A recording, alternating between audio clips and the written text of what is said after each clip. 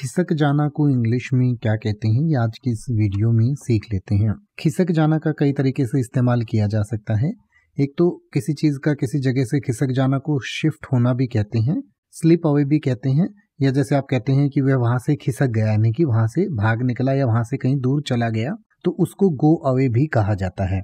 इसके अलावा जो ज़मीन का खिसकना होता है, यानी कि पहाड़ों में आपने सुना होगा कई बार ज़मीन खिसक जाती है तो उसको इंग्लिश में लैंड स्लाइड कहा जाता है। लैंड स्लाइड या ग्राउंड स्लिप्स भी कह सकते हैं। जैसे कि अगर आप ये कहना चाहें कि यहाँ अक्सर ज़मीन खिसक जाती है तो आप कह सकते हैं the ground often slips here या स्लाइड्स हेयर या फिर आप कह सकते हैं, वहाँ ज़मीन खिसक रही थी तो आप कह सकते हैं the ground was slipping there या ग्राउंड वॉज़ स्लाइडिंग देयर या अगर आप ये कहना चाहें कि वह वहाँ से खिसक जाना चाहता था तो आप कह सकते हैं he wanted to go away from there अब आप ऐसे ही किसी भी वर्ड का मतलब हिंदी और इंग्लिश में यूट्यूब पर सर्च कर सकते हैं। आपको मेरी वीडियो मिल जाएगी, जिसमें आप बिना किसी फालतू बकवास के सीधा उस वर्ड का मतलब समझ पाएँगे। तो ऐसी ही वीडियोस को देखते रहने के लिए चैनल को सब्सक्राइब करें और बेल आइकन को प्रेस करें।